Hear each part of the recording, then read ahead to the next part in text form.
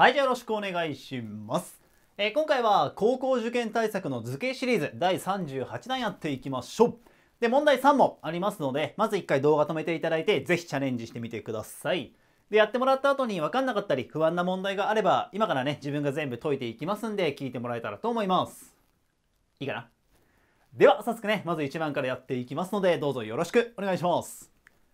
それでは、画面下げますので、お待ちください。いくよ。とととととととととあれ？ごめんちょっと下手くそだった。よしじゃあやっていきましょう。で今回はまちょっと出題のされ方が特徴的ですよね。こうライトを使ってる問題で。でただなんで今回これ使ってるかっていうと個人的にはいい問題だと思いました。両問です。あの受験の問題とか、まあ、ワークの問題とかもそうですけど個人的にいい問題だと思う基準っていくつかあるんですがそのうちの1個としてパッと見難しそう。つまり例えば受験で出てきた時とかに心を折らせる問題ね。あ無理だ。捨てようって。思わせるんだけど実はちゃんとルール理解をしてやっていくとそこまで難しくないよっていう。問題で個人的にはいい問題だと思ってるんですね。そのタイプですこれ。あのあんま見ないじゃん。だって天井からさライトつらしてあのこう吊り下げてまあ照らしますと。で床のこの部分がライトで光ってますよとか。ライト2種類 A と B2 種類あって、まあ、それぞれねいろいろ変えたり高さ変えたりして問題解きましょうっていうあんま見たことないと思うから基本的に類似問題っていうか初見なんだよね多くの方が。でその中でこう粘らせられるかどうかっていうそう粘れるかどうかっていうのを問われるからまあいいなと思ってね。で、まあ、今言ったように天井からぶら下げてるその問題です。でライトが2種類あるんですけどまず1番2番はライト A なので、まあ、この辺ちょっと編集でねライト A 出しておきます。でそいつをつりライト A をね吊り下げる紐の長さが100センチです。その時にライトが床を照らしてできる円の直径求めなさいと。ちょっと書き出しましたこれ。まあ A がライト A だと思って。ぶら下がっててこうなってる。だからつまり照らされてる床の部分のこの部分の、まあ、直径だからさこの部分を求めたい X って置いときましょうか。で何使うかってこの形見た時まあ点線になってるかちょっとあれだけど実践にしちゃおうか。この形を見た時にああ掃除っすねって思ってほしいの。掃除です。よくまあみんなアポロってお菓子わかるかな？チョコのお菓子。アポロ型って自分よく言うんですけどこうね三角形がありますと。でこの下の部分と平行な線をこうやって引くんですよ。こうやって。そうすると上のこのちっちゃいアポロのね、えっと上はチョコの部分黒の部分か。この黒の部分の三角形と全体の三角形は絶対に相似になります。絶対相似になる。まあ、なぜなら平行で引いてるからさ同位角角度一緒だしね。2組の角度が一緒になるからまあここも一緒だけどさ共通だから、まあ、どこ取ってもいいんだけど角度が一緒だから相似ですよって。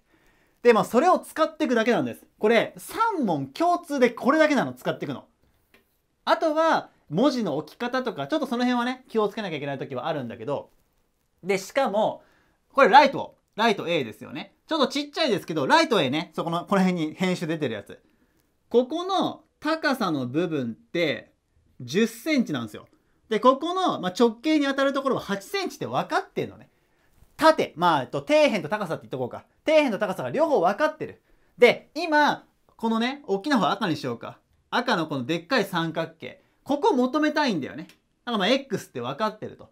で、上の三角形であるように、この部分、高さの部分ね。ここが分かればいいわけ。底辺と高さのセットができるから。じゃあ、ここいくつかなって考えたときに、今、紐の長さが100センチって言われてる。ちょっと今切れちゃってるけど、この上の部分、こうね、紐が100センチありますと。ここで見て分かるように、天井までは全部300センチしかないんですよ。この紐で100センチ使ってるから、このライトのてっぺんの部分、から下は300-100で200ですよねここ。ここ200だから底辺と高さのセットがもう分かったのであとは比例式で解くだけです、まあ、実はこれすぐ掛け算で終わっちゃうんですけどちゃんとやるとまず黒の三角形ちっちゃい方ね。じゃあどうしようかな。高さ底辺、まあ、縦横の順番でいこうか。縦10横8ですよね。だから縦10対横8なんです。イコール縦横の順番できたから赤の三角形も縦200横 x 縦200横 x って。10対8イコール200対 x っていうこれ比例式っていうんですけどこういうの。これでもう式は完成です。あとはこれ解くだけです。で比例式っていうのは覚えてください。中中外外です。キーワードが。中と中外と外それぞれ掛け算します。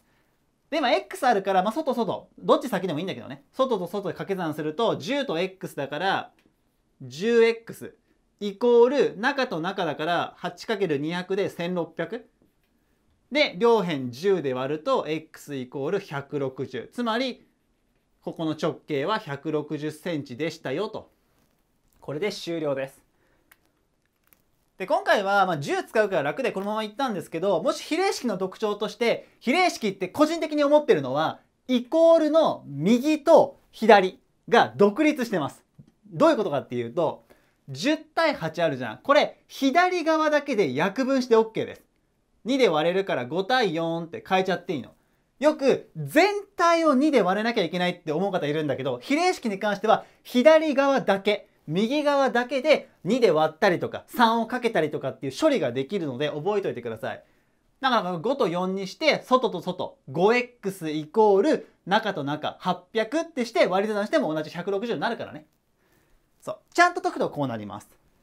でさっき言った掛け算でいいよって楽なのはこれ縦がさ10から200になってますよね縦って10から200高さの部分ねってことは20倍なんですよ高さがってことは底辺も20倍だから8から8に20かけて160でもいいよっていう、まあ、すぐ終わるんですけどでも是非ね比例式の方で覚えていただけると嬉しいですっていう感じ全部これでいく全部これでねじゃあ2番いきましょうで2番もライト A 使います。で、今度は吊り下げる紐の長さが X なんです。の時に、このライトが床を照らしてできる円の直径を Y とします。で、X の変域。まあ、変域とか言われるとね、難しそうってなるんだけど、そんなことはない。後でちゃんとね、処理するから。え50から180です、X が。じゃあ、Y を X の式で表しなさい。また、Y の変域を求めなさいと。で、やってること一緒なわけよ。つまり、こうね、ライトがありますと。てんてんてんてんっても照らすわけよ。でこう床に照らされてますと。でやってることは さっきと同じでだってここライト A だからさここはまた10でしょ。でここ8でしょ。でここを今度床で照らしてるところを Y としてくださいって言ってる。じゃあ何が違うかってさっきと違うのはこの高さですわ。ここ。ここが変わります。ここだけミスらなければもう問題ないんです。じゃあここ何になるかっていうと今問題をちゃんと読むとね何が X かってここが X じゃないんだよ気をつけてね。ここ X じゃない。今は紐の長さが X です。つまりこの図で言うとこのここが X なの。で今引いたこの青い線ってどこかっていうとここです。ここ。つまり300から上の X を引いたところがその青の高さになるからここは 300-X になります。こうなる。でもこれ置けたから、あとさっきと同じです。いきましょう。縦、まあ、たと縦横でいきますね。高さと底辺。10対8。まあ、5対4にしてもいいけど、ちょっとこのままいきますわ。10対8。で、縦横の順番だから300引く x 対、えー、y となります。でもなかなか外外一緒です。で、結局、y を x の式で表しなさいって今回言われてますよね。これ何かっていうと、最終的には y イコールほにゃらら x プラスほにゃららみたいな。Y イコールにするのがゴールです。そこまで持っていかなきゃいけない。だからまあ先に y の方ね、外外掛け算しちゃいましょうか。ということで、えー、10y イコール中と中で、ここ注意で、300-x みたいなものに掛け算をするので、これカッコつきます。カッコ。ちゃんと書くと、こうなる。8かっこ300マイナス x と。で、これまあ分配すると、この部分が2000 400マイナス 8x と。こっち 10y ね。じゃあ全体10で割りましょうと。割ると、先に x の方を書きましょうか。マイナス10分の 8x プラス2400を10で割るので240残ります。ただし10分の8はこれはちゃんと約分ができるから y イコールマイナス5分の 4x ごめんなさいプラス240と。これで y を x の式で表すことができましたと。で、あとは y の変域求めなさいと。で、y の変域、まあ、変域っていうのは y がいくつからいくつまで変わるんですかっていう、いうのを聞かれてます。で、答え方は真ん中に文字が来て、このマークで数字と数字で両サイドに置きます。だ y が一番ちっちゃい時と一番大きい時をやればいい。で、これは、このみあと、まあ、みんながね、ライトを想像しても分かるように、このさ、ライトの位置が下がれば下がるほど、照らせる場所って狭くなりますよね。ライトが下に来ちゃうから。ってことは、紐の長さが長ければ長いほど、どんどんライトが下に来ちゃうんで、照らせる範囲が狭くなっていくと。で、今、X の変域が50から180。つまり、紐の長さ、こいつね、こいつが50から180になりますよと。つまり、50の時紐が一番短い時と一番長い時をこれに代入しちゃえばいい。ここに。代入する。だからつまり x イコール50ね。一番短い時を。入れるとここに50が来るから y イコールマイナス5分の 4×50 すると5と50約分できるんでマイナス40になります。でプラス240だから結局 y イコール200となる。x が50の時は y が200です。で、もう一個。ライトが一番長い時、180ね。入れてみましょうと。そうすると、ここちょっとね、約分厄介なんですけど、えっと、5と180約分すると36が残ります。で、4×36 だから144。マイナス144書くか。マイナス144、ちょっと出ちゃうね。プラス240。なので、えー、96となります。つまり y、この円ね、えっ、ー、と、照らしてるとこね。この直径の部分が、直径だよね。合ってるよね。えー、と合ってる。直径の部分が一番短いと96一番長いと200です。だから一番短い方が左ね。で右が200になります。よくやりがちなミスが50の計算した答えが200なんよ。もともと50左にいたでしょ。だからこっちに200を書いてこっちに96を書く子がいますけどこれ×食らいます絶対に。必ず96から200まで少ない数字を左に書いてください。これが答え。いいかな、まあ、こんな感じでございます。ほんでもってラスト、ここでね、えっ、ー、と、やっとライト B が出てきます。まあ、これともちょっと編集でどっか出しておきますね。ちょっと細長いんですよね、細長い。で、何やってるかっていうと、紐の長さを変えます。A は同じように X です。X。紐の長さ X で、B は2分の X です。半分だね、紐の長さ。で、その時に、照らしてるライト。の面積が等しくなる x がありますと。じゃあそれいくつですかと言われてます。ねこれ面積って言われ言われたからちょっと面倒くさそうに見えるんだけど面積ってさ円の円だからね結局ライト照らしてるの円になるから円の面積って公式は半径かける半径かけるパイなんですよ。半径でしかずれないんですよ。使う数字が。だから結局面積が同じっていう今回ねちょっと書いておくわ。面積が同じっていうのは面積を考えていくのではなくて半径で今回も直径の話ずっとしてるから当然直径が同じだったら面積は同じになります。なんで直径が同じことを考えればいいじゃんっていう話だけ。しかも A の方、ライト A の、えっ、ー、と、紐の長さが X の時の Y ってもう出してるからここに。ここにいるからじゃああとライト B の時だけ考えればよくないっていう話なの。ライト B ね。を考えていきます。でライト B も同じようにね図を書いていきましょう。ちょっと細長くしようか。